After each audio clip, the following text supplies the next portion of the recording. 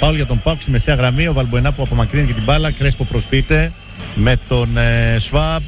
Κούρτιτς. Αντρίγια Ζήφκοβιτς εμβυλά κοντά του Αυστριακό ο Σβάμπ. Βρίσκει τον Κούρτιτς.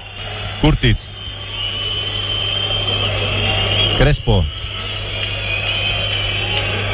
Από τα δεξιά Ίγκασον. Ψάχνει να βρει τον Λίρατζι. Μένει όρθιος αυτός. Λίρατζι στη σέντρα. Δεν θα τη βγάλει. Θα κάνει τρίπλα. Σβάμπ. Ψάχνει να βρει τον Ολιβέηρα. Ένα ένα γκολ! Για τον Μπαμ. Γκολ με τον Τσόλακ στο 108. Ο Τσόλακ, ο Τσόλακ. Παγώνει τον Γιώργο Ο Τσόλακ. Σκαρετσάκης. Παγώνει τον Γιώργο Σκαρετσάκης με αυτό το γκολ του Τσόλακ. Γκολ για τον Τσόλακ. 108. Ένα-ένα ο Πάοκ σε τροχιά πρόκριση στο τελικό της 25η Μαου εδώ στο Γιώργο Καρεσκάκη. Απαντάει σε αυτό το πέναλτι που έδωσε με καθυστέρηση ο Ισπανός Ρέφερη και αξιοποίησε ο Ελαραμπή.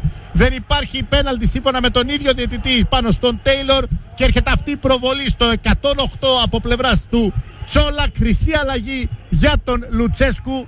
Ένα-ένα πλέον εδώ στο Γεώργιος Καραϊσκάκης.